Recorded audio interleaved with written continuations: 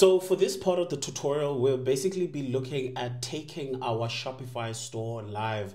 Now, for this case, we're basically finished with everything that we were supposed to do for our online store. That's creating the components that make up the online store. These include adding things like your products, um, creating collections, adding pages, adding legally uh, legal policies and pages as well, fixing your shipping, shipping and delivery, and everything else in between. This also includes you customizing your theme and basically creating how your online store actually looks like, and you purchasing things like your domain name, the plan, and also probably uh, finishing everything that you were supposed to do. Now, we want to take this store live, basically making it accessible to anyone that wants to visit us using our link, of course, or our domain name. So if we want to take this live, the first thing that we want to do is, again, we are on the main menu section of our Shopify backend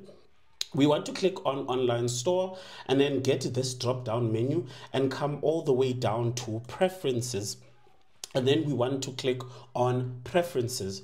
So when we are on preferences, this is the first thing that we're going to get. You're going to realize first that your online store is password protected.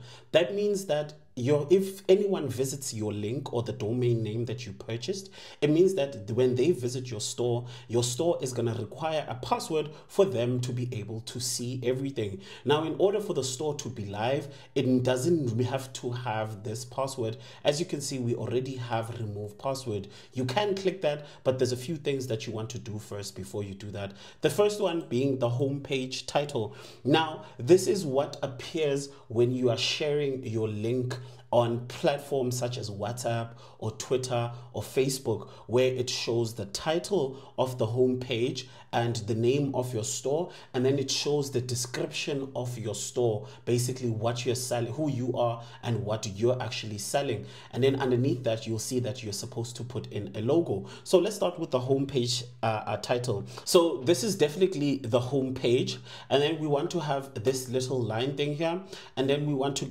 uh, give the store name. We want to write the store name um, over here. With in this case, it's Urban uh, Thriller.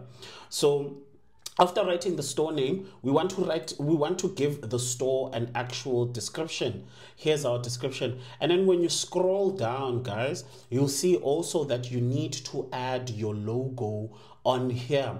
Again, this is what is going to appear when people are sharing your link or when you're sharing your link. You want your logo to appear and then it's going to write the meta description of your homepage and then it's going to show homepage and it's basically going to show your store name as well. And then what you want to do is go all the way down, click um, this uh, uh, check or untick this check button thing here and then click on save and then voila your store is now open to everyone as you can see there. That's basically it when you want to take your Shopify store online.